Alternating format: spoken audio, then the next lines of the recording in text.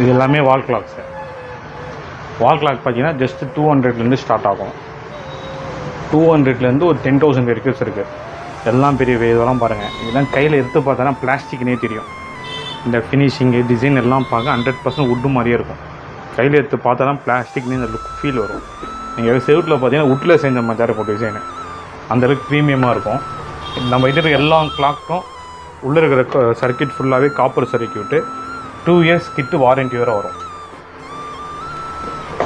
Just two ஹண்ட்ரட்லேருந்து ten thousand இருக்குது இருக்குது இதே நிறைய வெரைட்டிஸ் இருக்குது பெண்டுலம் இருக்குது இதே இதெல்லாம் ரேடியமு நைட்டில் பார்த்தீங்கன்னா ஃபுல்லாக லைட் மாதிரி எரியும்.